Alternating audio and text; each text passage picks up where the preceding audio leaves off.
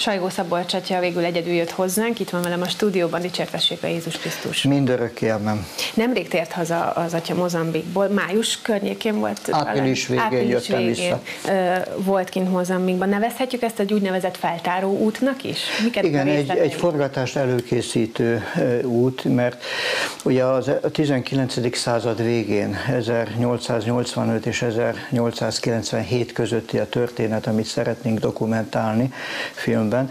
És hát azóta nagyon sok minden változott közben 1910-ben a portugál fordulatottan lerombolta az összes missziót, ahol a két híres magyar egész világon nagyon ismerték őket, nagyon Zimmermann István és Menyhárt László nagyon nagyot alakítottak, és máig hat az ő munkájuk.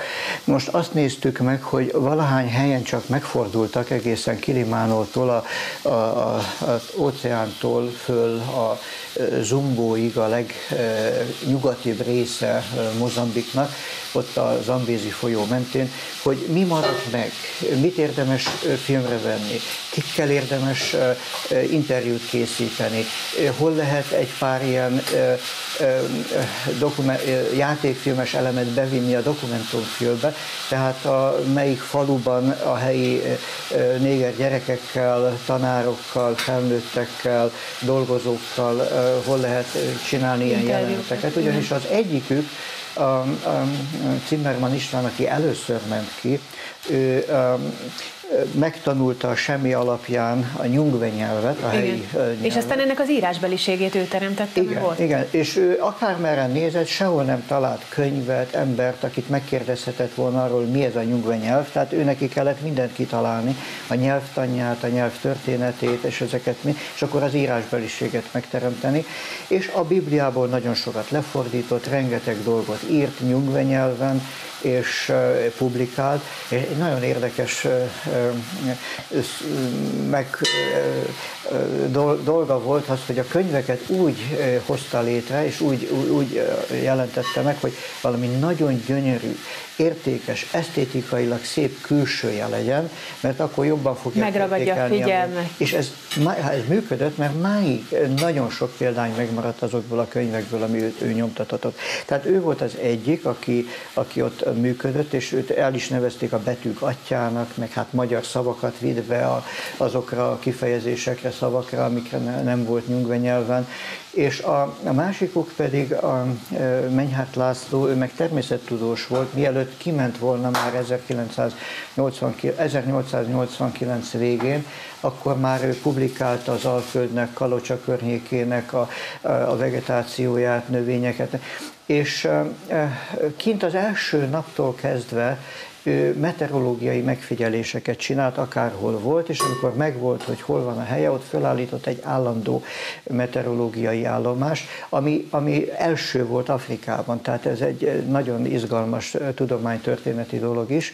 Ez a, a, a, a Zambézi folyó mentén, Tete nagyváros közelében, egy Boroma nevű településnél, ott volt az első nagy, fő, főleg magyar pénzen is kialakított hát missziós állomás, mert Zimmermann rengetegen, rengeteget gyűjtött, nagyon szerették, nagyon nagy hatású prédikátor volt, és rengeteg pénzt gyűjtött, úgy ment vissza, mert ugye 85-ben elment, 1885-ben, 89-ben visszajött, és, és 89 végén ismét ment Mozambikba, de közben a sok összegyűjtött pénzből rengeteg modern gépet is vett. Uh-huh. Tehát fölállított olyan műhelyeket, amik megint egy, egy unikum, és a helyieket úgy tanították be, nem egyedül volt, hogy a, ők csinálták a minőségi munkát, ami alapján kiépítették aztán magát a missziót.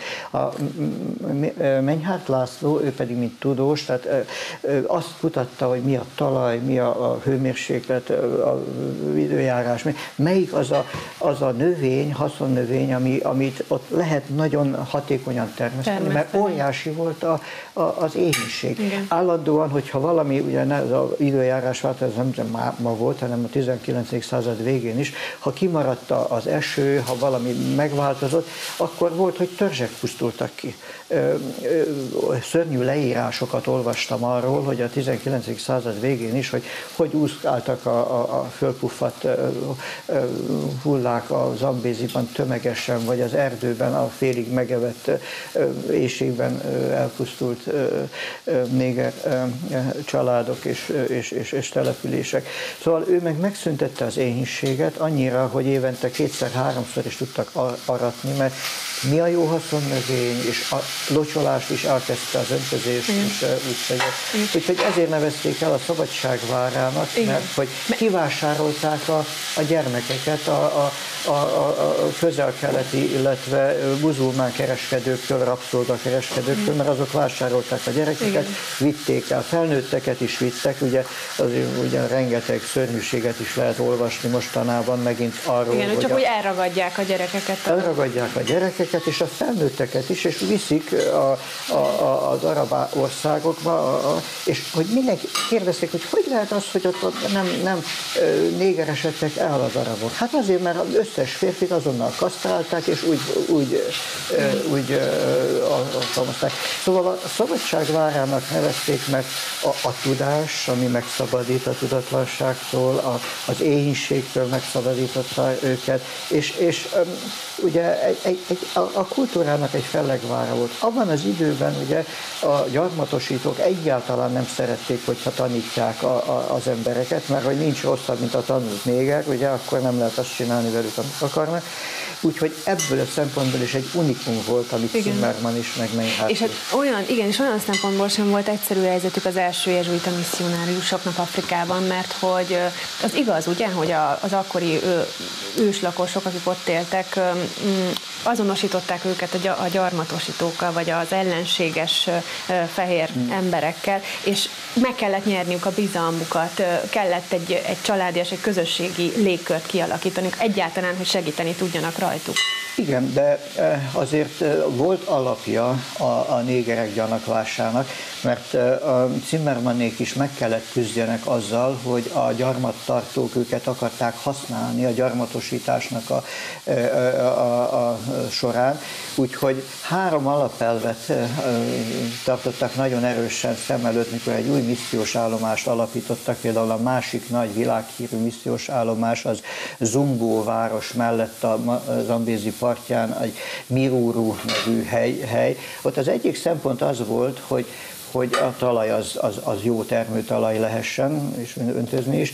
E, a, a másik e, szempont az, hogy egészséges legyen, mert a települések általában a vízpartján, az országút, a, a folyó voltak, és ahol nagyon egészségtelen volt a, a, az élet. És a harmadik szempont, amit lehet, hogy legalább olyan fontos, hogy a portugál hatóságoktól kellő távolságra legyenek. Hmm. Mert a, ugye a hatalmas portugál gyarmatbirodalomban ők nem tudtak a portugálok kellő képzett embert küldeni, küldeni a gyarmatokra ahhoz, hogy jól kontrolláljanak mindent. És mondták, hát ezek a misszionáriusok majd ingyen megcsinálják azt, és hozzák nekik a, a, azt, ami, ami, a, amit akarnak, amit ők nem tudnak. Igen. Hát így mindjárt a, az elejétől fogva a missziókban, például a Zambézi misszióban Amerikából, Angliából, Belgiumból, a, osztrák-magyar monarchiából, hát úgy mentek ki, ugye Menyhárt László is, meg, meg Zimmermann István, Zimmermann István is, igen. Érdekes, hogy most, hogy egy kicsit többet foglalkozom vele, hogy a Nemzeti Múzeumból átkerült a Széchenyi Múzeumba két olyan nagyszerű könyv, amit a, ami megvan Magyarországon, Menyhárt, amit Zimmermann István írt, és amikor 89-ben jött haza, akkor a adakozóknak hozott abból példányokat. Kalocsánot találtam, ugye Hajnard Lajos érsek volt, ő maga is természettudós, és ő állította fel ugye a csillagvizsgálót, ő, szintén növényzet szempontjából egy, egy nemzetközileg elismert szaktekintély volt, és és, de a segédpüspöke az nagyobb adományt adott a könyvkiadásra, úgyhogy a dedikálás, a nyomtatott dedikálásban ott van a kalocsai, hm. a nyungve nyelvű könyvben a kalocsai segédpüspöknek a neve, és kézírással, ott nem voltam Kalocsán, néztem a, a gyönyörű, nagy, híres kalocsai könyvtárban és archívumban, hogy ott, ott pedig kézzel beírta Zimmermann, a Hajnal Lajosnak ajánlja ezt a, ezt a könyvet. Ja, most ha az ember így végighallgatja, tényleg rengeteg, gondolom rengeteg dokumentumot kell átnézni, föltárni, felkutatni, akár ugye külföldi anyagokat, amit aztán le kell fordítani. Hmm. Tehát milyen, milyen dokumentációt lehet egyáltalán találni az Ambézi misszióról? Hát egyik forrás az, az Lisszabon, tehát a, a birodalom középpontjában, ott sok minden van. A másik forrás Róma, az pedig a jezsuita szempontból, de én most találtunk, ugye ketten mentünk azzal, aki majd rendezi a filmet, és aki hát menedzseli, ketten mentünk, és én írtam a, a helyi püspöknek, hogy megyünk és miért, és ez egy nagyon-nagyon kedves valaki, ő előszedett olyan kéziratokat az archívumban, amit senki sem kutatott, portugál nyelven, följegyzések rendszeresen mind a két híres missziós állomáson, ami mind a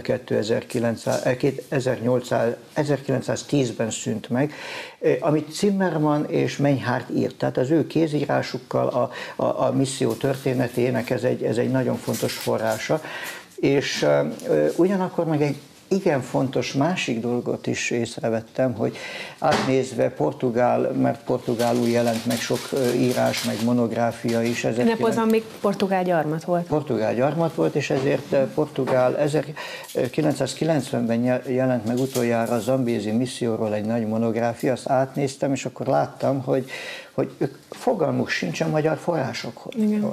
Úgyhogy ez is egy feladat, hogy, hogy megtalálni azokat a fontos alapdokumentumokat, amiket nem ismernek, amik magyarul vannak, és hát, hogy ezeket lefordítani angolra és publikálni, mert hiába mondjuk azt, hogy miért nem tudják, hát mit tehetünk róla, ha nem tudnak, mint annyi minden másról is. Ugye nem az a fontos, hogy egymásnak magyarázzuk, az is fontos, de, de az, hogy, hogy kifelé, hogy része legyen a, a világ kultúrájának az, ami itt történik. Úgyhogy, hát igen.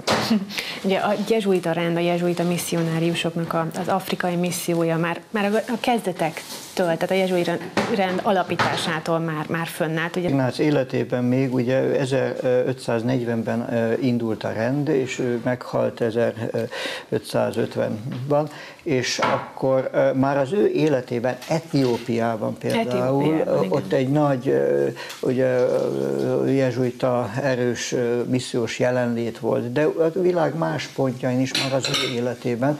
Egyrészt, mert nagyon képzettek voltak, másrészt nagyon odaadottak voltak, úgyhogy akit fölkonferált ez kedves Eszter, Igen, ugye, Hardi Richard, ő is ő már 28 éve van Kongóban, egy kiváló szakorvos, személy szakorvos. Ugye már itt beszélgettem vele a, a korábban, főleg a pandémia Igen. első évében, és majd remélem még egy pár napig itt, le, itt van, hogy remélem, hogy majd be tud jönni, mert ez is egy nagy ajándék. Tehát az, hogy a, a, a katolikus televízió van, azt gondolom az a, a, a magyar nézőknek, a magyar társadalomnak egy nagyon fontos, nagyon fontos felad, értéke. És ugye, hogy, hogy tényleg azok a kezdeményezések, azok a munkák, amik szerte a nagyvilágban is vannak, és a, a katolikus egyházon belül, vagy ugye hát hogy, hogy azt, azt tudják, ismerjék meg az emberek. Tehát ugye Hardi Richard doktor is ő, ő, ő, Hát csak a Jézusért csinálja, amit csinál. Igen. És éppen beszélgettünk arról, hogy hát nagyon jó lenne, hogyha már sikerülne kialakítani egy, egy szakorvos hátteret is, hogy már hát idő, megy az idő, hogy át tudja adni. Tehát, és azt mondja, hogy már tettek lépéseket, de a legjobbakat is, akik támogattak, mentek tanulni Egyiptomba, vagy máshova, de azok meg, hát családjuk van, ez van, az van, végeznek, hát a semmiért nem fogják azt csinálni. Mm tehát elmennek olyan helyre, ahol bőven rendesen megfizetik őket. Tehát ezt csak ezért is mondom, hogy ez a, ez a, ez a katolikus missziónak is, és egyáltalán a keresztény missziónak egy nagyon fontos szempontja, hogy hogy, a, hogy emberek, akik Jézus hatására vállalják, tényleg a, vállalnak mindent, csak azért, hogy valami értéket másoknak továbbadjanak. Azt gondolom, hogy a katolikus televízió is ezt próbálja itt a magyar társadalomban, vagy a magyar nyelvi világban is, hogy, hogy valami olyan értéket, és hát ugye nincs, nem tudom, milyen támogatás, tehát a hívek, a nézők, Igen. amiket adnak, Igen. Hát arra tud számítani, és abból tudja a misszióját teljesíteni. Akartam is erre rá rátérni, hogy ugye Szabolcs atya lett a katolikus televíziónak a lelki vezető. Mikor elindult a katolikus televízió, hát kezdettől így indult, de Bónum Igen. néven szárnyalt, akkor én Torontóban voltam plébános, és ott, ott néztem a híreket, és örültem, hogy na milyen jó, hogy most elindul a katolikus televízió. Aztán amikor 13 végén hazajöttem, akkor elég hamar ugye Jakab Péterrel összetalálkozva kérte a, a támogatás segítséget de ugye kialakult hál' Istennek egy jó ilyen papi támogatása is a, a, a televíziónak, úgyhogy nekem meg volt úgyis nagyon elég sok más teendő. Tehát amikor valami tényleg szükséges volt, azt igen, de hát különben menjen, vigyék, a, akik úgyis vitték.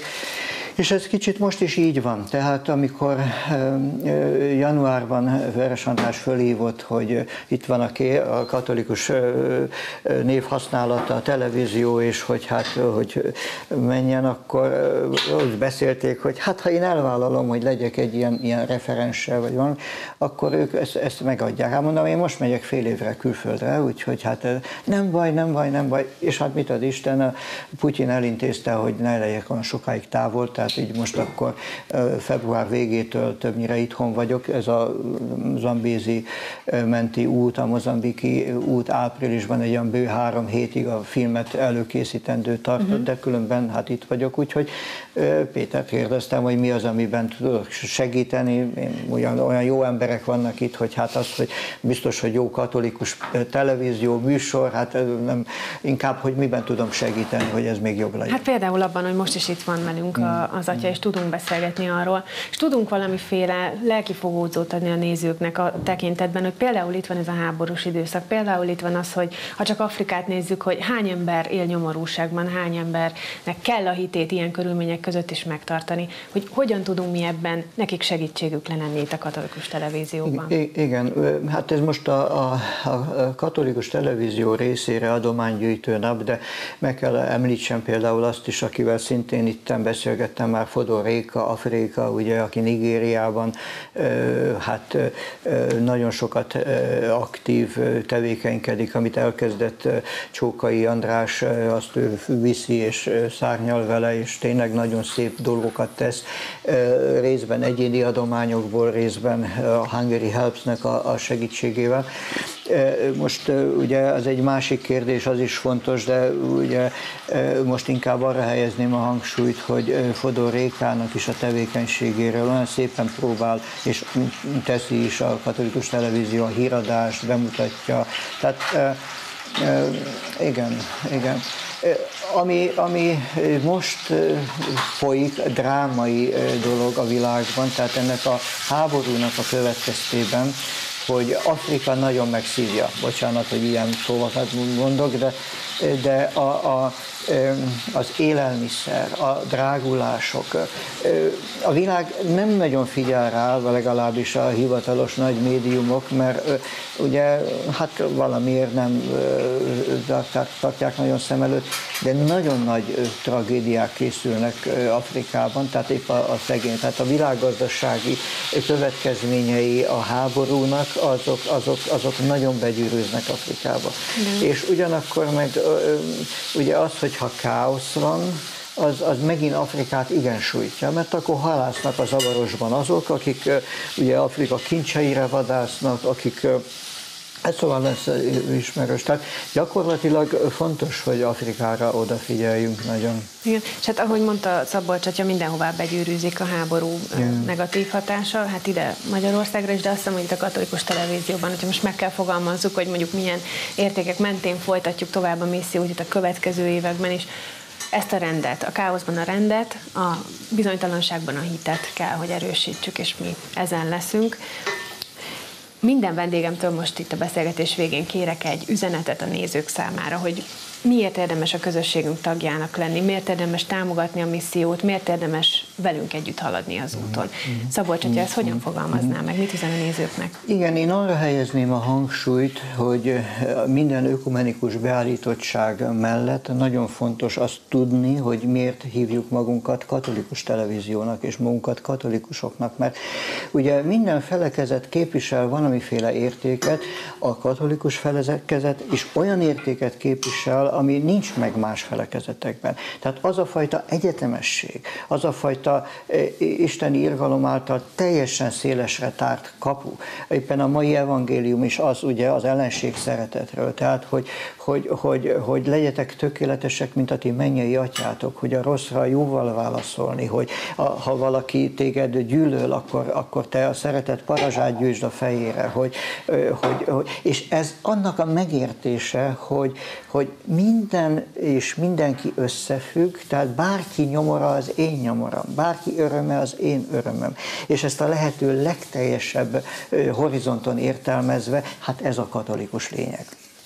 Sajgó Szabolcs, atya, köszönöm szépen, várjuk még vissza a stúdióba, és a, dokument, a Szabadságvála dokumentumfilmről is még fogunk beszélgetni. Köszönöm, hogy itt volt. Köszönöm a meghívást és a nézők figyelmét.